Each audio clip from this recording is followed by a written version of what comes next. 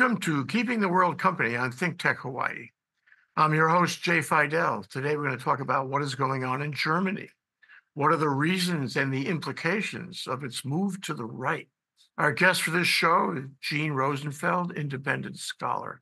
We may catch up with Manfred Henningsen, who's emeritus professor at UH Manoa in political science, who's come back from Germany recently in the next few days. In any event, Jean, welcome to the show. Thank you, Jay. So what what in the world is going on here? I mean, I I thought that the German people had mm, shoved off from Nazism uh, and neo-Nazism, but that doesn't seem to be the case. And in fact, uh, the the movement of neo Nazis uh, seems to be growing in in popularity and effect. Um, I know you've been following this to some extent. Can you tell us what's going on and where and who? There is a relatively new political party in Germany called the Alternative for Germany, Alternative für Deutschland, and um, it it showed up early on before it had a name uh, around 2011 to 2013. You know, a lot of things happened around 2013.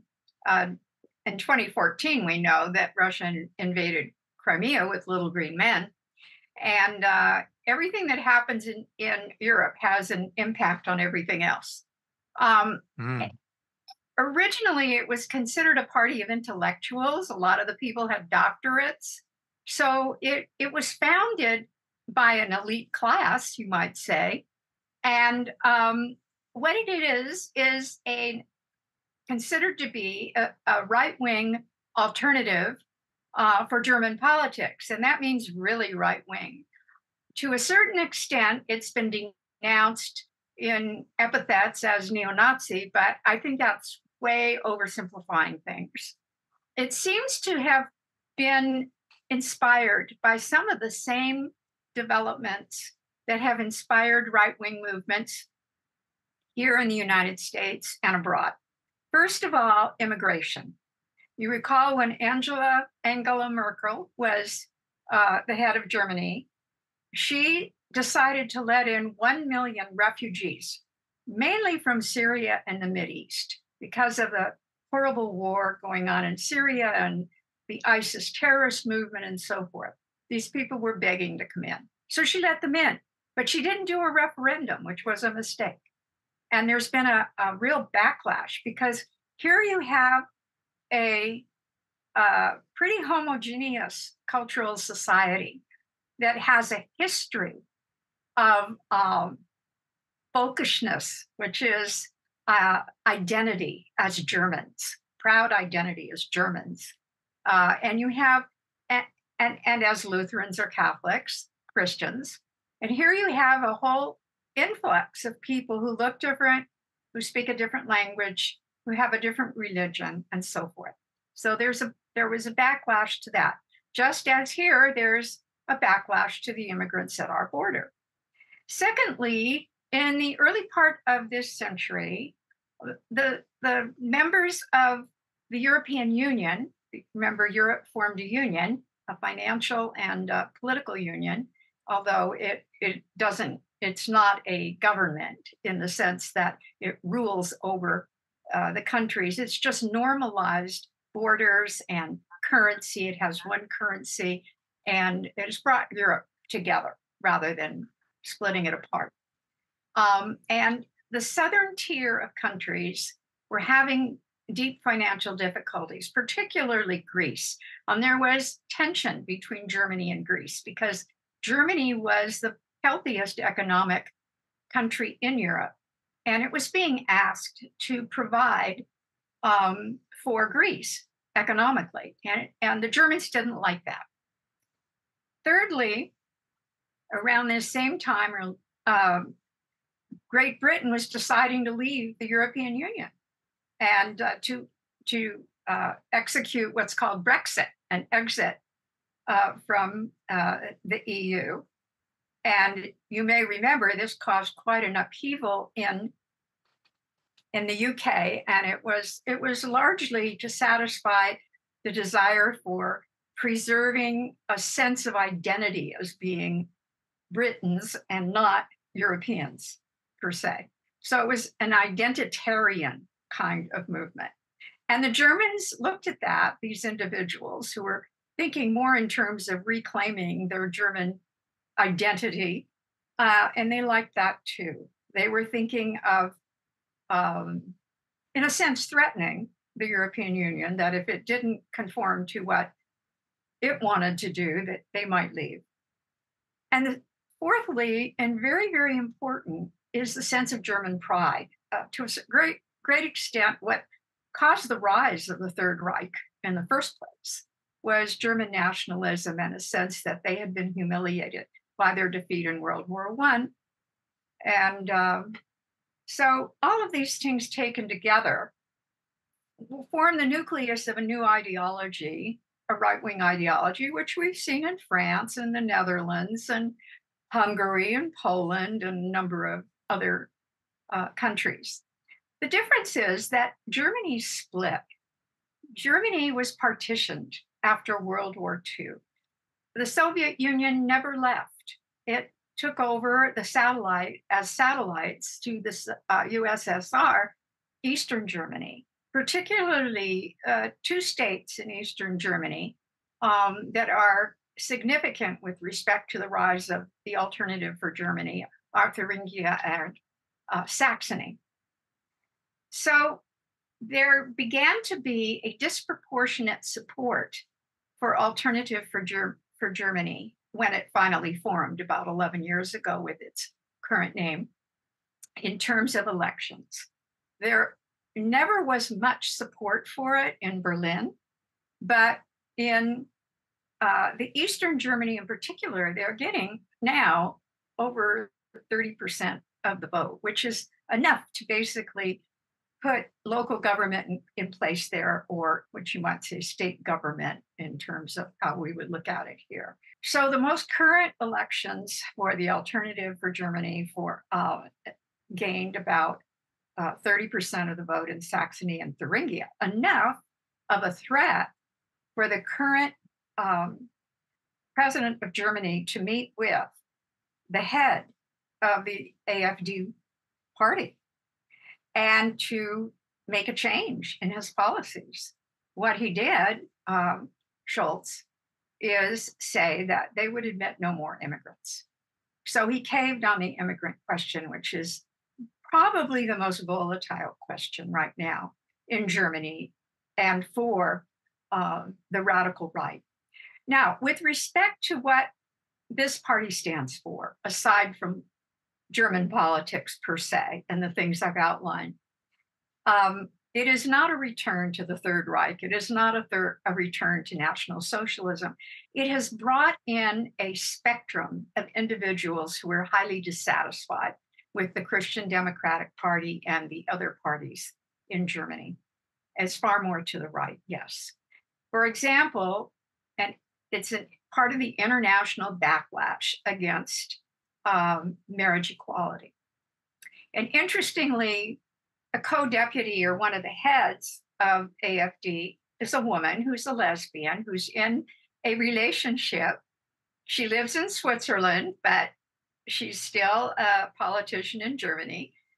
And uh, she is uh, in this relationship with, with her partner, and they have a couple of children but she is not in favor of marriage equality. What what the party stands for is civil union. You recall when we first brought up the idea of marriage equality, Obama wasn't right into that. And he was bringing up the question of civil union, which would be equal to marriage, but not marriage in name. So they stand for that, which is not, it's not acceptable in the United States today, but it isn't what we would really call extreme as in Russia, where you, I mean, homosexuality is, I think, criminalized at this point. Maybe not criminalized, but certainly people are shunned. So that's one thing. There are social aspects uh, to their politics. Another is that um, financially, some of them are uh, quite extreme in terms of the right wing. We have to think more in terms of Ayn Rand here. Um, but not all of them. Uh, some of them, uh, she, for example, the woman I just talked about, um, is an economist. She has a PhD in, in uh, economics, and she has worked for major investment and uh, banking and other uh, financial companies. And she just doesn't, she has a conservative economic plan. Some of these individuals have been punished by the party for bringing up Holocaust denial, for bringing up aspects of anti Semitism, which this party cannot indulge in because there are very strict laws in Germany against the expression of anti Semitism and Holocaust denial. And they're punishable by actual sentences. So they, they don't want to go near that. But they are very, very anti Islam. And it's hard to believe that a party that is talking about the folk, which means the white German people of Aryan background, and their Heimat or their homeland in Germany, that they would be totally oblivious to other types of um, bigotry. And in fact, there have been private conversations among high ranking members of this party that do expose their bigotry toward non Germans. So there's a great deal of concern about it. Uh, even Marine Le Pen's um, National Front in France, which is their right wing party, doesn't really want to associate with them. And the question today is they seem to be a new party, they're rising fast, they're appealing to the discontent of a significant number of people, and they're exacerbating the split between East and West Germany. Well, some thoughts and questions for you, Jean. Um, when uh, Vladimir Putin was in his uh, earlier years, he was uh, running the KGB in East Germany. And if you run the KGB in East Germany, you make relationships, relationships in terms of political relationships, uh, possibly espionage relationships, relationships. And there's no reason why you would give that up later, especially if you stay in touch with people. So, my question to you in your reading, have you found anything to suggest that East Germany is still connected with the likes of Vladimir Putin? Um, because this sounds like it's a way to disturb and destabilize and divide uh, the Germanies, East and West, again, to return to a time before mm, the, the wall came down, before glasnost, for that matter. Um, and, and that's what we know, that's what Putin would like. Um, is he doing this? Is he involved in this? Is he spreading um, hate and hostility and divisiveness so that this has come about?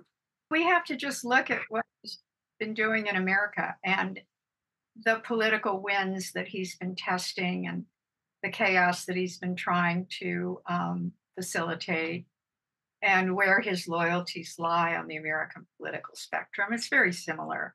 In fact, what I learned from sort of finding out a little bit more about what's going on with the right wing in Europe is that a lot of the things that I hear Donald Trump saying, particularly last night in the debate, with respect to uh, global politics and NATO and relationships with dictators and so forth, and his admiration for Viktor Orban, tells me that a lot of this is coming from Europe. Uh, we know that um, right wing um, pundits and influencers have been very, and, and the Republican Party even, has been very um, uh, close to Viktor Orban in Hungary, who's an example of what the AFD might look like if it came into power in Germany. And it's basically an authoritarian movement. It uses democracy. None of them are against democracy because the way they gain power is through the vote in a parliamentary system. You don't have to get a majority in a parliamentary system. You don't have to represent the majority of the people to be on top. You can win with a plurality. And fascism, which this basically is an aspect of what I would call soft fascism, um, fascism um, hardly ever gets into power or ever gets into power with a majority. It's always with a plurality. And it's generally through the democratic system. And then once it gets in, it then employs tactics.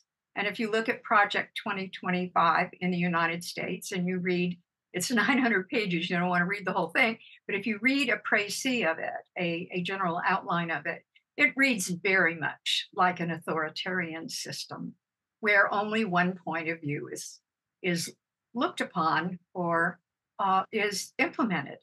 And anybody with a different point of view is not going to be very privileged and may be shunned or even threatened. So that's been going on in Orban's Hungary. He's got political prisoners in his jails. And it could happen in Germany. And it definitely is happening in Russia. So let's look at the foreign policy of AFD. They are pro Russia. They are uh, not in favor of the Ukrainian war. They don't want to contribute at all to the Ukrainians. Uh, they want Ukraine to be settled. And by settled, you might think of what Trump said last night when he was asked the Ukrainian question. You know, uh, he he dodged it, but it became clear from the question that he has said that he he's going to fix it. He's going to fix it very fast. And he's not going to fix it by providing a penny to Ukraine. That, that's precisely what AFD stands for. So, in a sense, if you want to know more about AFD, you kind of have to look at the Republican Party here and the MAGA movement today. Let's look at, um, you know, how powerful they are. If they got um, uh, Scholz to agree not to take any more immigrants, that's a huge change in policy. Angela Merkel was as far as I know, very popular for her ethical, moral position on accepting immigrants, migrants, um, recognizing, of course, that migrants um, migrate because they they are seeking sanctuary. They're seeking a, a better life than they had, for example, uh, in the droughts and floods of of the Sahel in Africa. Um, they can't live there. They can't eat. They can't. They can't grow anything. Uh, it's all climate change, but it's also the politics that come out of climate change. Life is intolerable. That's why they leave. And so I think Angela Merkel understood that. She's a moral woman. And a lot of Germans went along with her, at least for a while. And a lot of Europe went along with her, at least for a while. But then what happened is the, the migrants became very numerous and some of them perhaps didn't act as well as they they might have.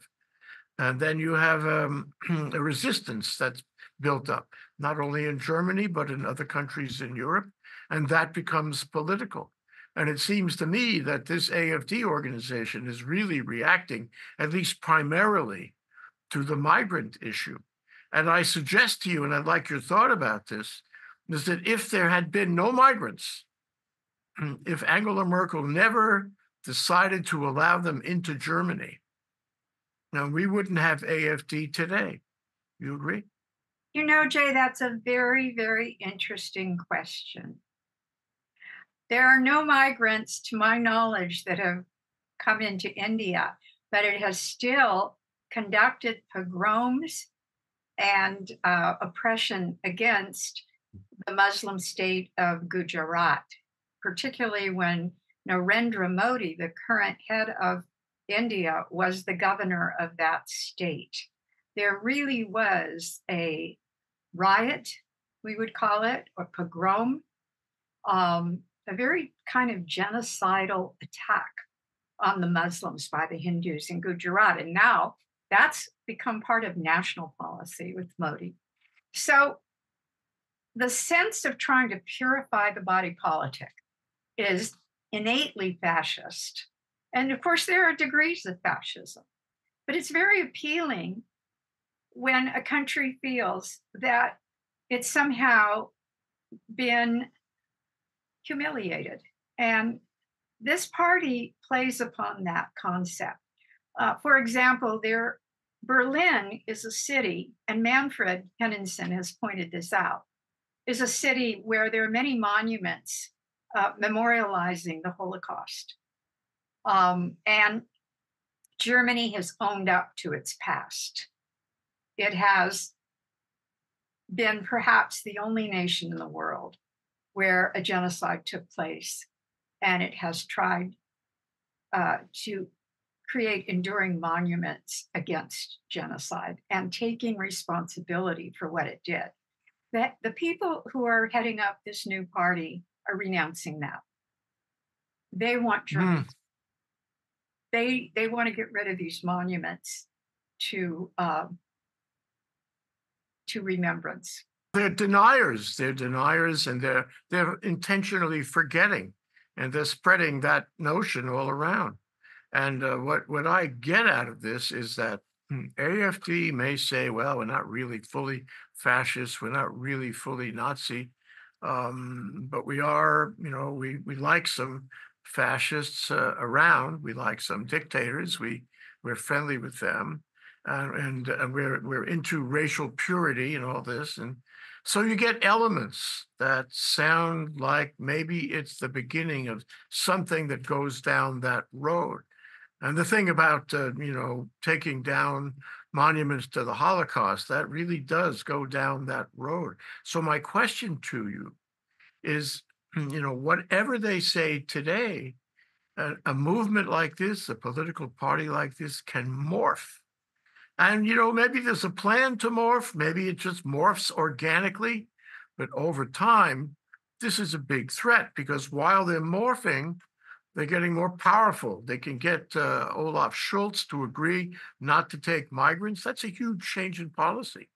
Um, and they can they can have people elected, and maybe they can actually, uh, you know, have enough people elected to control the government over time. And if they do that, Mm, the morphing is going to be all the more obvious, don't you think? It's very uh, interesting to note that this is a new political party. And when you have a new political party and all sorts of people are flocking to it, you have a great deal of instability in terms of the ideology. It so much depends on who's controlling the party, who's at the top. And at various times in the last say 11 years of this party's existence um, different individuals representing different points of view have been on top the woman i, I spoke about um, who's living in switzerland and is a co-deputy of the party is part of a wing of the party that's called mitte or sort of middle ground and the other part of the, of the party which is der Flügel, is um, extreme and the fellow in charge who just basically won his elections in Thuringia, uh, Höcke, is quite extreme.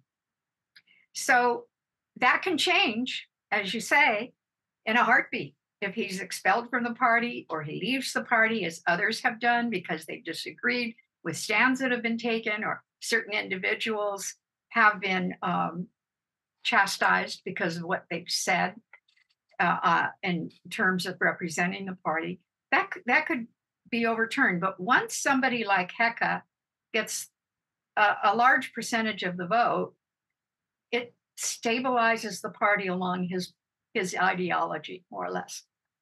It doesn't have propaganda arm either. So it's not the... organized well enough yet for us to really know where it stands on the fascist spectrum. Mm-hmm. But we do know that it can morph. In fact, I, I would go further than that from what you've said. It will morph. the people involved will morph.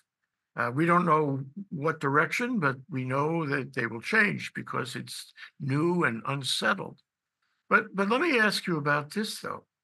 Um, we have we have Europe. You you mentioned the uh, EU, European Union, and all that. And uh, indeed, if you look at Europe today, the the borders are not really all that secure. Um, you can go from one place to another by train or bus uh, in a few hours. Um, there's not a lot of control on what Europeans are in what other European countries.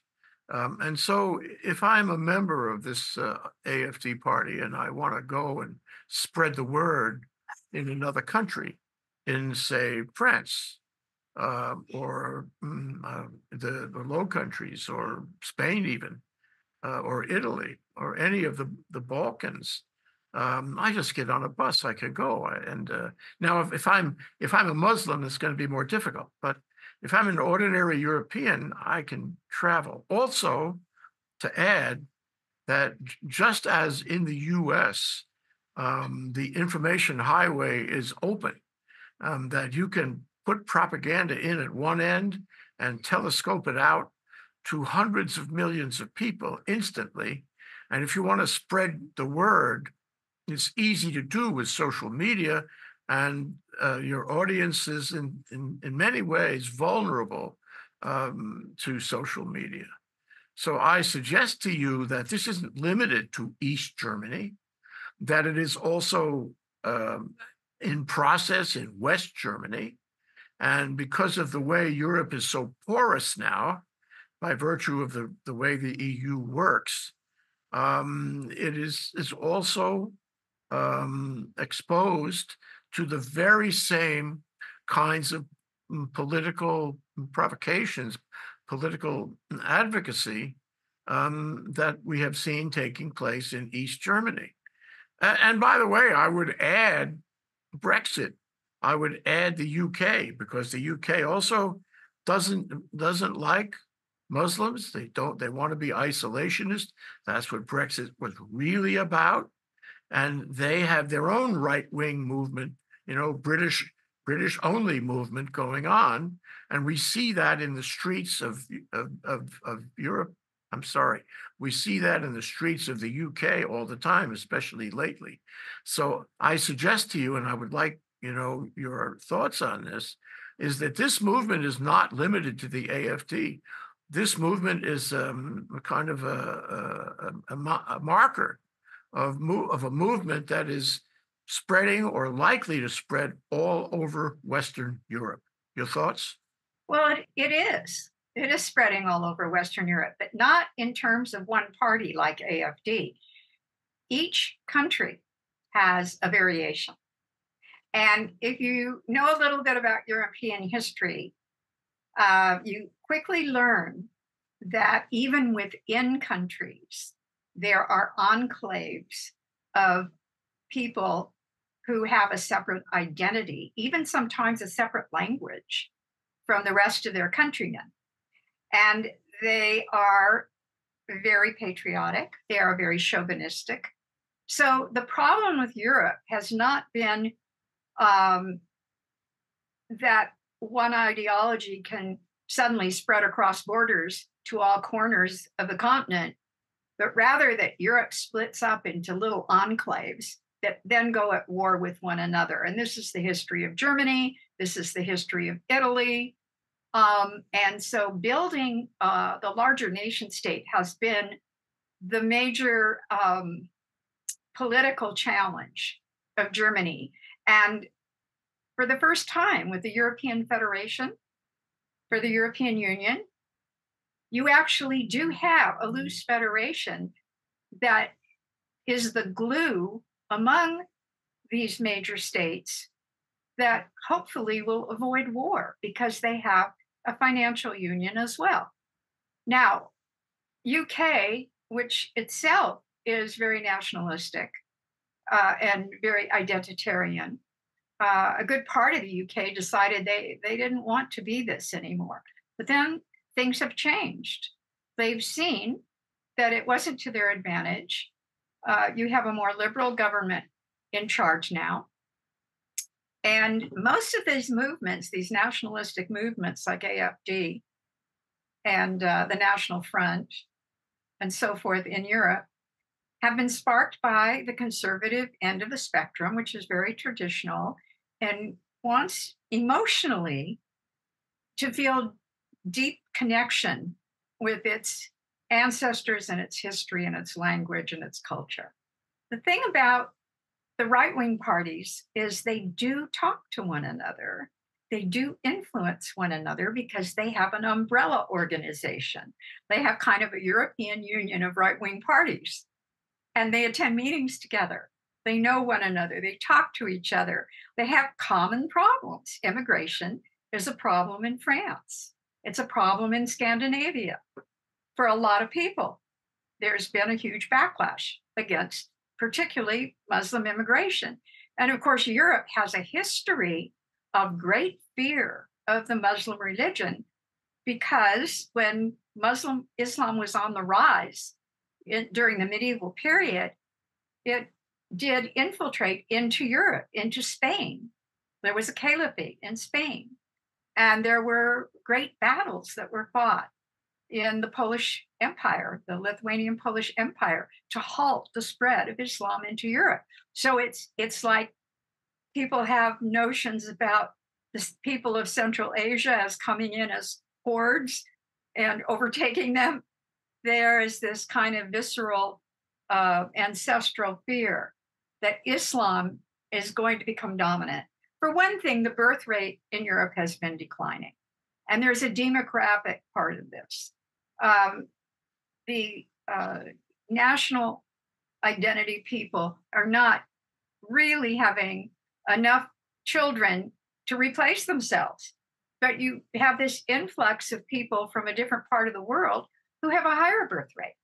Now, we know scientifically that as these new immigrants come in and become urban dwellers, within one generation, their birth rate is going to plummet. That's what happens. That's how you reduce the birth rate in a country as you urbanize.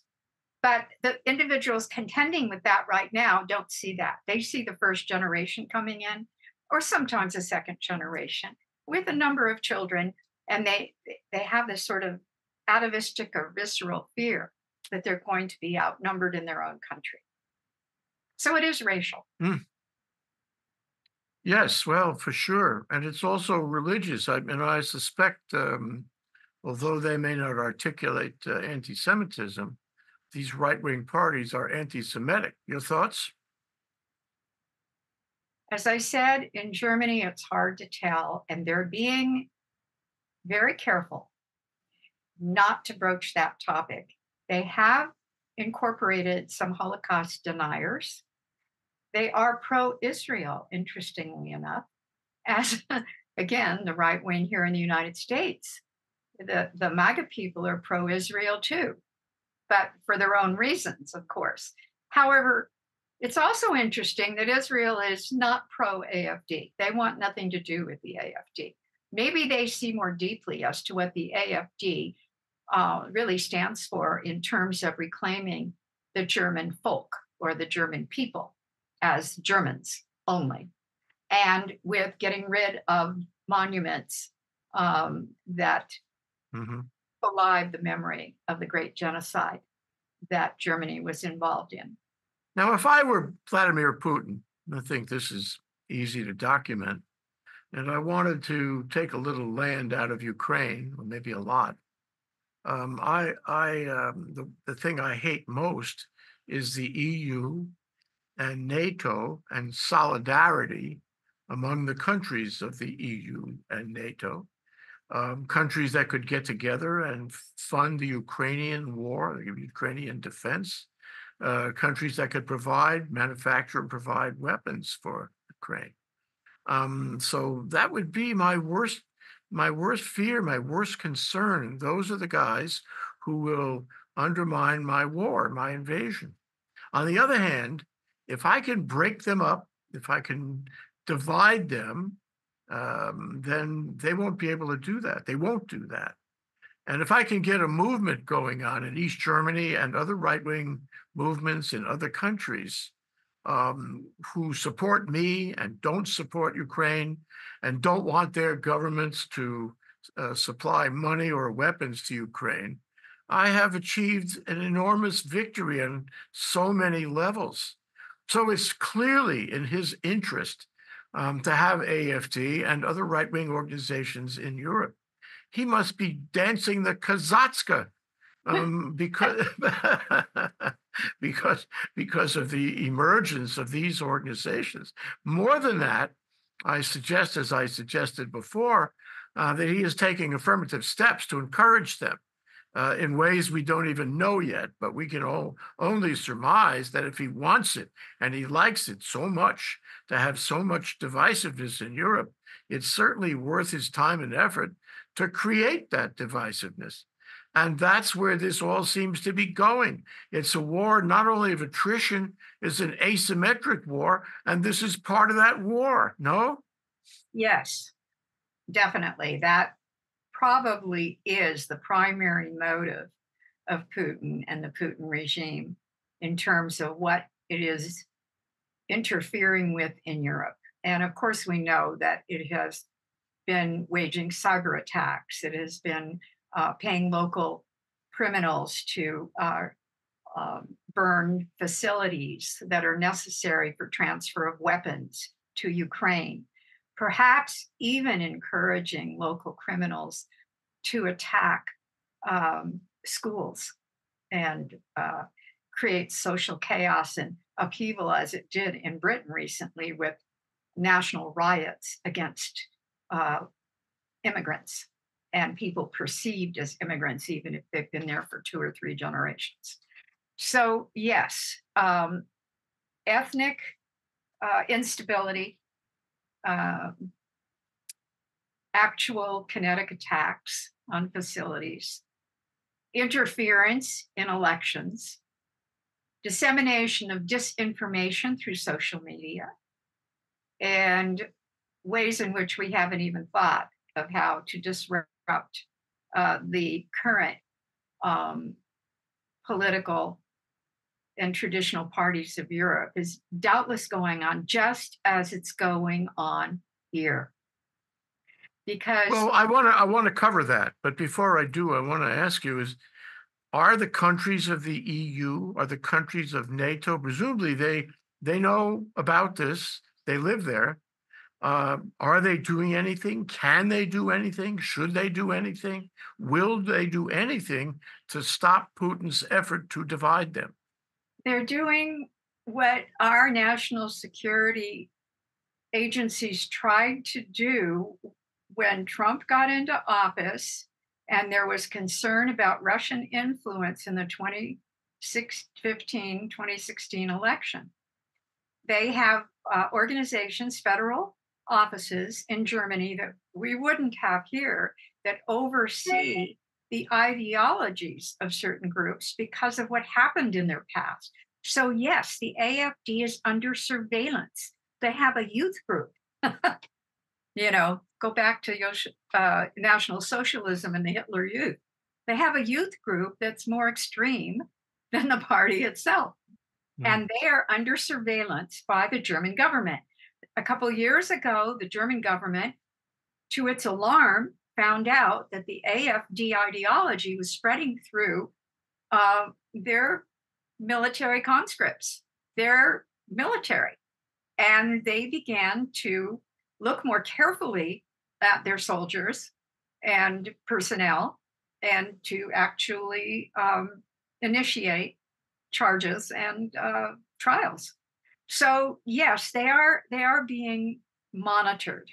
And we know that whatever Interpol is doing or the agencies that are connected, the national security agencies that are connected in Europe are doing, that they are also on top of these uh, multiple attacks and arsons against their transportation facilities and warehouses uh, where they are transferring weapons to Ukraine. Now, mm-hmm if the AFD is politically powerful enough to change the immigration policy in Germany, could it be powerful enough to change the policy of Germany toward Ukraine? Because you heard Donald Trump last night say he thinks that he, he did not commit at all for one penny to Ukraine. He said Europe should be doing more and they should be paying their fair share. That's the idea. But Europe is not in a position, uh, Germany is not in a position to increase its uh, financial aid or weapons aid to Ukraine under the political conditions of the rise of the extreme right. So Ukraine is caught in this vise politically, which of course, to a great extent, is being encouraged, being encouraged by Russia. And it has Russia has a large foreign contingent of agents. And we know that in our country and also in Europe. And they're very active in sowing discord and encouraging the rise of the right. For that, for that reason, because Russia mostly feels that the longer it's in Ukraine and the more it can hold its line, uh, it's going to win the war of attrition. Yeah, I want to now. I want to turn to the U.S. and um, talk about the politics. We saw the politics uh, revealing themselves, at least for Trump last night at the debate, and um, and then it, it makes you remember how much damage he did to American, uh, the American alliance with uh, the EU and with NATO, and with all the countries of Europe. He's damaged that relationship as no one else has before. Um, and if he was elected, he would continue to damage it or destroy it. And it's not a question of money, it's a question of some transactional obligation he has and will continue to have with Vladimir Putin. And so, you know, I'm I'm thinking that uh, Trump himself is part of that effort uh, to divide Europe, part of that effort to undermine Europe, European resolve to help Ukraine. And I think we're already seeing that in, in, in play um, as a result of what happened during Trump's, administra- Trump's administration. Um, and I think that Germany is uh, concerned about giving more money, more weapons because of its political strife with AFD. Um, and other countries too. And I, I, think Western Europe is is fading on its help for Ukraine. And I don't think we say, I don't think we see it in so many words in the media, but I think that's what's happening. And Putin is, mm, you know, is is is, is having his way. Uh, this is a great concern because uh, by the time we get to the next administration, uh, even assuming Kamala Harris wins, um, she's going to have a real challenge in getting Europe together again in face of AFD and other right wing groups um, to try to get them together and recommit to funding and providing weapons. Your thoughts? It's hard to deny that. Um, we have a two party system. In Europe, there's a multi party system, a parliamentary system. I discussed that they don't need a majority to be in power. Um, here we have an electoral college. You don't need to be a majority to win the electoral college, and nine out of the last 10 Republican presidents have not had it. They've learned how to manipulate the system well enough to win the electoral college, even without a majority of the population. However, it's hard to compare apples and oranges where you have a multi party system and a two party system. In a sense, we're ahead of Europe in terms of our our, our turn to the right because one of our major political parties, half of our political uh, system, our practical political system, is already where AFD is and maybe farther along. So we do have a semi fascist political party right now. I would call them fascist. The GOP is fascist. And it's much more united and organized than the AFD, which is a new party and is still sort of in this sort of ferment. And it has people in power who are going to stay in power and they're going to compromise whatever principles they have to do so because they look to an authoritative leader and they compromise their principles as we have learned people tend to do and so to a certain extent it doesn't really matter if Trump wins or he doesn't win this time. He probably will not win, uh, run again the next time, but somebody else will. Somebody who is a clone of him and perhaps a lot more savvy than he is. He's he's aging. He's not too savvy. He could pull this one out, and if he does, now, after four years, the MAGA group is very well organized. It was well organized before in terms of putting judges in place. Now it's organized right down to the municipal level and the state level of uh, conducting elections. and so if the DOJ is a Trump DOJ, we're going to see some attempts to change our system pretty fast. Nevertheless, if he doesn't win, Harris is still going to have an uphill battle against a determined fascist movement. And the next time somebody like Trump or somebody that's a clone of Trump will challenge the system further. So we have to live with this dichotomy in the foreseeable future. Well, you know, over the past few years, uh, the Republicans um, in Congress and in other leadership positions have done increasingly, um, they've done things that undermine the uh, the defense of Ukraine. And I think some of that has affected Joe Biden over his term because he gets pressure from them and he gets pressure about you know about the the the, the funding uh, aspect of this if congress won't give him any money to defend ukraine what, what's he going to do? And i think i agree with you that that will continue. But at the end of the day what's happening here is that the mm, divide, increasing divisiveness in europe uh, as reflected echoed or even you know even more ahead of the game, the increasing divisiveness here in this country, uh, political divisiveness, right wing divisiveness, will ultimately withdraw all support. All support for Europe, let them swing on their own. Um, all support for Ukraine, let them fail against Putin's uh, war of attrition. And we will see huge changes between the US and Europe and for that matter, uh, the liberal world order. Uh, you know, when they say that Trump is dangerous, they don't define just how dangerous he is. But I think this is part of that danger. And it's not just the US. Look at history in the last hundred years. And uh, with the advent of fascism in name, I mean, as a phenomenon, it probably existed prior to being named by Benito Mussolini. Um, you see how fast the change can be. One of the aspects of fascism as a phenomenon politically is that it creates a very fast change. It moves very fast. When when Trump says things like on the first day he's going to do this and do that, that's an aspect of fascism. Fascism has been defined by one of the leading scholars, Robert O. Paxton, as um, rapid action through time. Rapid, very rapid. And that's where the Blitzkrieg name comes from in Germany, meaning the, the lightning strike. Um, and uh, it, it can be military, but it can also be political and social. And we have seen this lightning strike uh, in 2016 when Trump took power. And it's only moved a little bit faster now.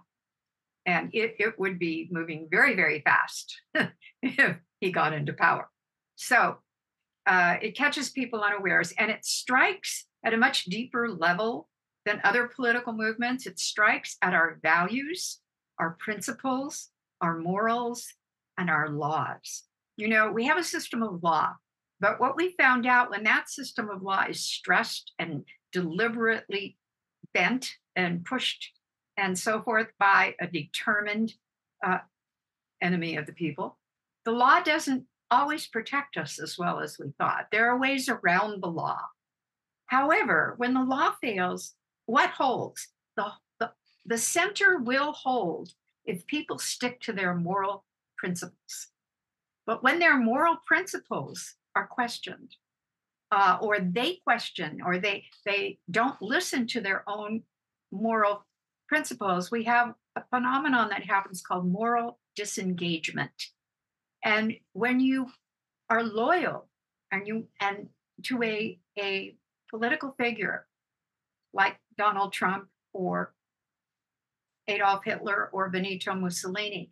And that figure demands your loyalty and threatens you if you don't give it to them. Um, you will carry out or not interfere with whatever actions, rapid actions they take. And you will become morally disengaged and basically enthralled to a system of behavior that you would never sign on to individually. You lose your moral autonomy. And we found this out through these social psychology experiments 65%, and that's enough, believe me, of their um, people in their studies uh, would sacrifice their morality uh, for their loyalty to the authority. So this group, the uh, AFD, and for that matter, the uh, right-wing groups that that surround Trump, uh, they they seek moral disengagement. Am I right? And that and that to a certain extent they're successful. Um, I would ask you whether we have um, a, a, showing of moral disengagement in Europe uh, regarding these right wing groups, and whether we have a showing of moral disengagement in the US uh, as reflected by these right wing groups. Your thoughts? The thing about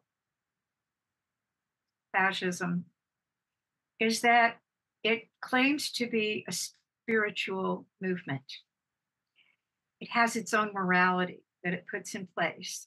And we see this in Project 2025, where the family is extolled. We see this in J.D. Vance's comments in the campaign that individuals who have children will have more of a vote than individuals who do not have children, that we should shun those who are single and unmarried, that we um, should uh, per- prosecute particularly moral crimes. Like um, they're very big on um, homosexuality, you know, that anything, um, for example, care for transgender uh, people um, and using and, and using the name marriage for the unions of same-sex couples. Uh, that sort of thing, they the propaganda and the ideology is quote, moral. But we have to look at it from a different standard. The moral standard that pre-exists it, the one that binds us together today, freedom, so that whether you have children or you don't have children, you have the same vote. Okay. Equality, so that same sex couples have access to the same protections in marriage and for their relationships as heterosexual couples. Uh, in terms of how we treat people in our in our justice system. In fascist countries, loyalty is is the sin. It is the big sin, and you can be executed for being disloyal. In a democratic country, that in itself isn't evil. So we we we chipped over our moral compass, our moral our basket of moral principles has been utterly changed in the name of morality. But if you look at it, it's not the same thing. There's one principle that stands out when I study individuals who resist authoritarianism. And that one principle is the one that we find in the ancient medical texts first do no harm to another human being. Simple. Um, I'm I'm not any more optimistic after uh, this discussion, um, but I am optimistic about Kamala. Uh, Kamala does; she's faithful to the notions about being decent, about caring for other human beings, and I I I surely hope that that will prevail. Thank you very much, Jean. Jean Rosenfeld, uh, helping us understand the right wing movement in Europe and the right wing movement in the US and how they're connected, how they follow each other, and what, what will happen uh, as time goes on. Thank you so much, Jean. Thank you, Jay. Aloha. Aloha.